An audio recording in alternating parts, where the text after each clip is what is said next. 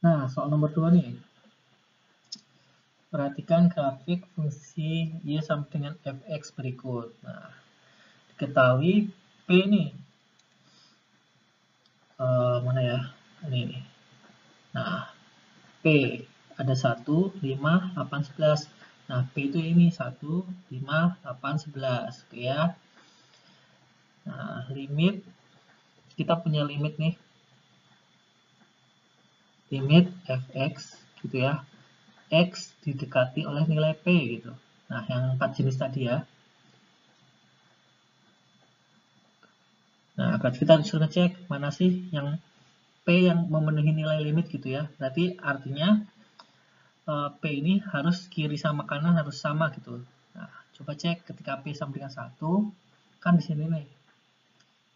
Gitu ya. Dia didekati dari kiri maupun dari kanan itu kan sama berarti limit fx gitu ya x didekati nilai 1 dari kiri sama limit fx x didekati 1 dari kanan. Berarti yang ini benar gitu ya. Sekarang yang P sama dengan 5 gitu. Nah kalau dari kiri maupun kanan dia sama-sama sama mendekati 5 gitu ya cara nulisnya sama kayak ini gitu. Berarti ini sama, benar jawabannya P sama dengan 5. Nah, sekarang coba kita dekati P sama dengan berapa ya? Nih, 8.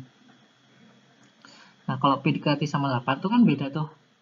Kalau berarti limit P dekati 8 dari kiri untuk fx tidak sama dengan limit fx P didekati 8 dari kanan.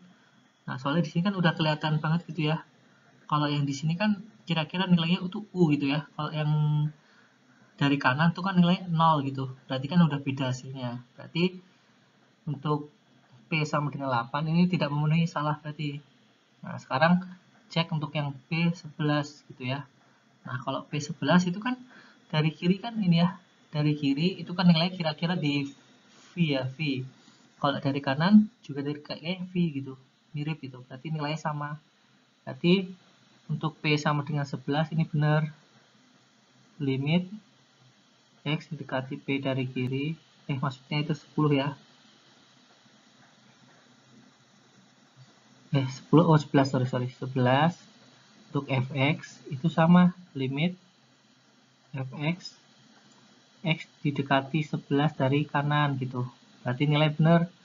Berarti jawaban P yang benar itu ketika 1, 5, dan 11. Ini ya jawabannya.